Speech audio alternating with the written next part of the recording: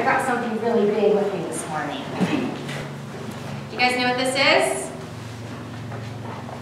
It's a big backpack, isn't it?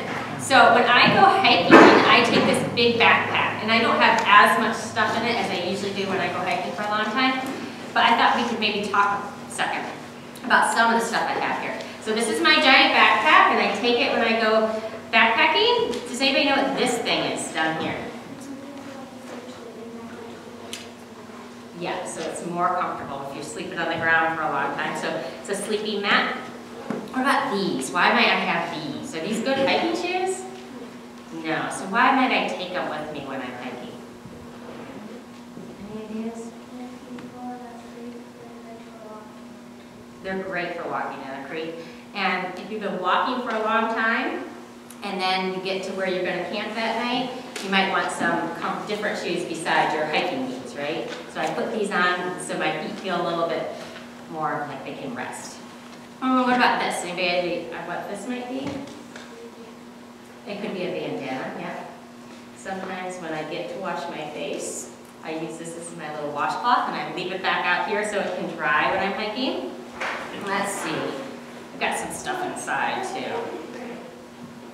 Let's see what we have in here. Take everything out.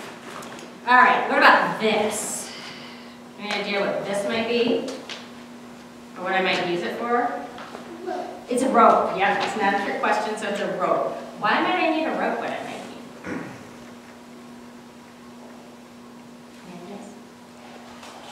I mostly take it with me because you just never know what you might need a rope for. Right? I might have really stinky clothes and I need to hang them up.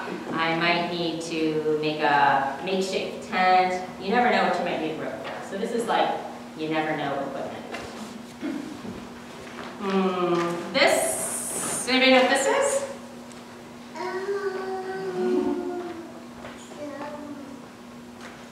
This is a water filter.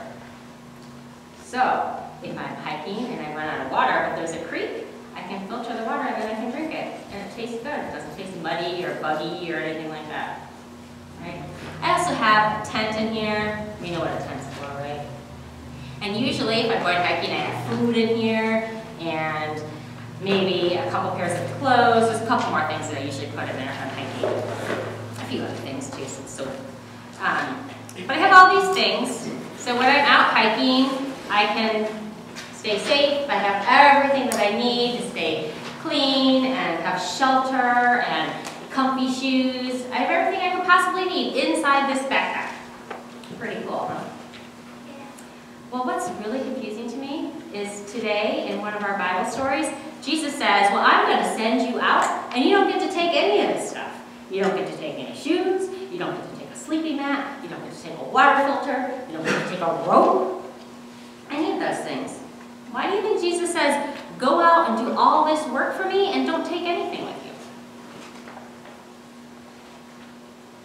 Kind of, kind of weird, Well, I guess my question to you is, what do you need to tell people about Jesus? Do you need shoes to tell people about Jesus?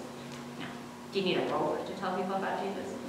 Do you need a backpack, water filter, food, tent?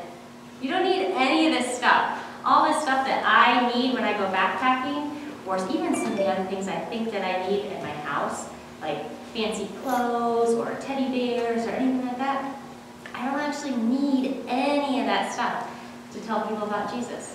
What do I need to tell people about Jesus? Say again. Your mouth. You need your mouth. You need your body, right? You just need yourself. You need your mouth and your heart and your brain.